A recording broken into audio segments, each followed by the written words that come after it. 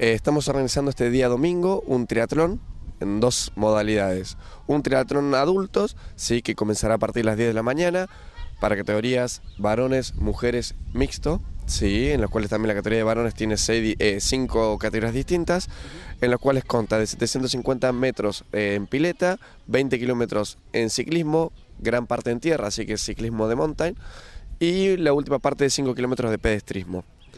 Eso es lo que es el triatlón para adultos. Y después tenemos como novedad esta primera edición del mini triatlón o triatlón infantil, en los cuales chicos de a partir de 7 años hasta 13 años van a poder participar, ¿sí? en los cuales van a tener 33 metros de largo, 400 metros parte de ciclismo y 100 metros parte de pedestrismo participará la colonia acá que, con la que contamos nosotros, la Colo Exploradores, como así también les hemos llegado la invitación a las distintas colonias y a los distintos CEF de, de la localidad y de alrededores. Se parte desde acá mismo, desde el club, se hace todo el sector de pileta, luego la parte de ciclismo se van hasta el viejo sector de la donde está la fábrica, allá en la parte de caballería, de los caballos, perdón, ¿sí? se vuelve hacia el club, de ese recorrido se hacen dos vueltas para luego llegar acá y salir nuevamente hacia el polideportivo en la parte de pedestrismo.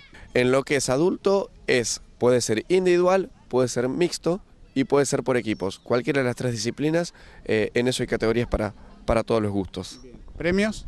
Premios, va a haber premios para los primeros tres puestos, primero, segundo, tercero, como también hay para los primeros 60 inscriptos hay remeras, ¿sí? en el caso de triatlón para adultos. En el caso del triatlón para niños tenemos remeras para todos los participantes y medallas para todos los participantes, más la premiación. ¿Cuándo es la posibilidad de inscribirse?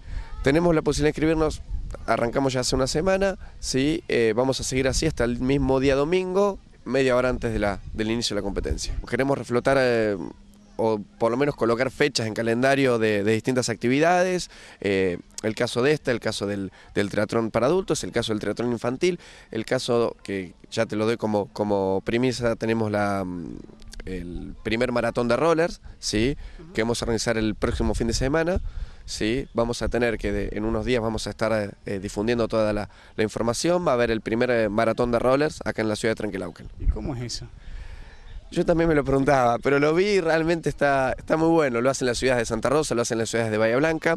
Sí, son 5 kilómetros en rollers, eh, donde cual sí van a partir acá dentro del club, sí, y van a dar un par de, recorridos hasta completar la distancia.